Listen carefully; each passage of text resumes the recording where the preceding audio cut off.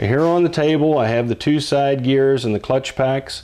I would like to measure the clutch pack that was uh, in this rear end uh, originally and we can do that by of course using the special Ford tool that's used to uh, make that measurement. Uh, it's not really needed.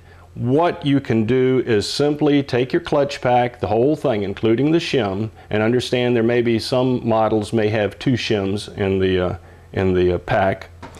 Take a small C-clamp, just like this, put it across there, and then squeeze it down. This C-clamp is kind of simulating that S-spring that's in the uh, Traction-Lok assembly.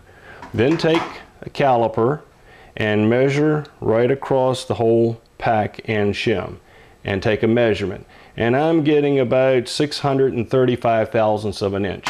All right, that's a little bit loose. The normal spec using this method is about 640 to 645 thousandths of an inch in a normal stock setup for a Traction-Lok.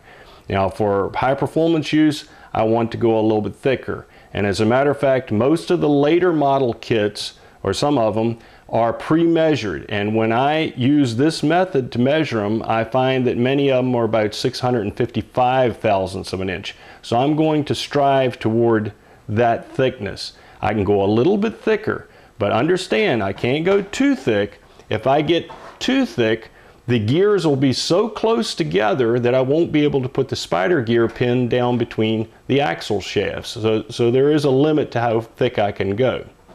Also, I'm going to use the newer style plates. You can see the newer plates have this rounded tab.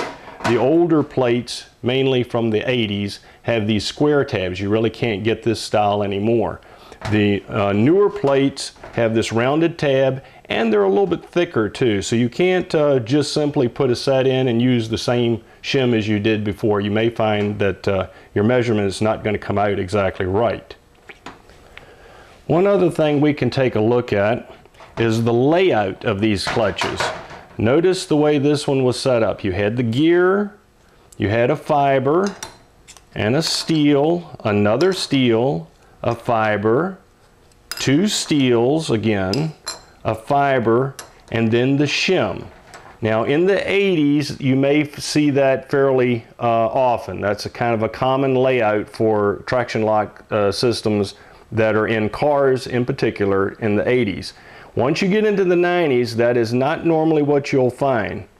Instead, you'll usually find the steel shim or steel plate first, then a fiber, then two steels, like that, a fiber, one steel, a fiber, and the shim. And there's a good reason why that is the normal layout for anything that's on newer rear ends. All right, here's where the concern is. I'll take the clutch pack off and we take a look at the gear. We look at the surface area where the uh, fiber was riding. In fact, this is the fiber that was against the gear. And if you look closely, it may be difficult to see in the video, but if you look at the outer edge, you can see that about 10% uh, of that uh, clutch fiber was not touching anything. So you did not have full contact with the gear. If you look at some of the newer type gears, this one came from a late 90s uh, F-Series truck, and that contact area is smaller yet. In fact, I have a plate from uh, one that was installed in a truck where the plate was against the gear and you can see that maybe 40% of the outer edge of the disc was not in contact. That's why on a late model um, Traction-Lok assembly, and I would say even the earlier model ones, it's best to orient it so you have the gear, then a steel plate, then a fiber, then two steel plates, a fiber, a steel, a fiber, and then the shim. And uh, this is a good argument not to go with the four fiber uh, setup. A very popular trick for the hot rodders. Use four fiber plates. They figure you have more contact area. You're going to have more Traction-Lok action. But you're forced into having one of the uh, fiber plates are going to be next to the gear where you're going to have that contact area problem.